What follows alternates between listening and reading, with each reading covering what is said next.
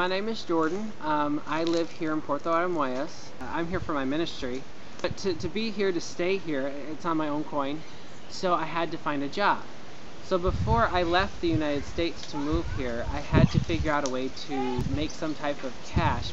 I asked somebody who had already been abroad, a friend of mine, and asked him, I asked him what he did for, for work.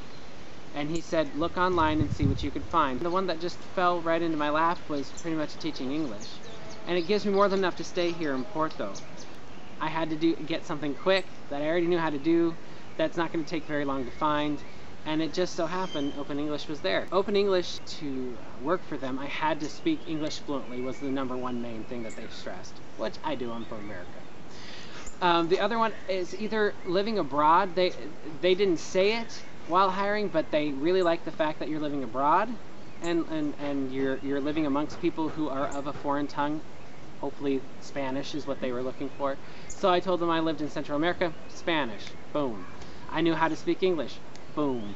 Um, also, one of the prerequisites for working for them was that I had to be able to work weekends, evenings, because that's the most undesired shift. And of course, I'm very malleable. I didn't have a job, so that works. So that's why I was able to swiftly and an easy transition into working uh, for Open English. It took a process of about a month to get hired. It's rewarding, it is. I get to teach people English, something that they need for work, or so you're actually helping somebody get a skill set, which is kind of really rewarding to you as a person because you're helping somebody else out. But also it's easy to teach. Uh, the tools that Open English gives you uh, to teach is, is it helps you as a teacher to teach somebody and it's it I'm to say probably in about a month I'll put it on cruise control and be able to teach anybody on that site how to speak English and I'll be comfortable with it.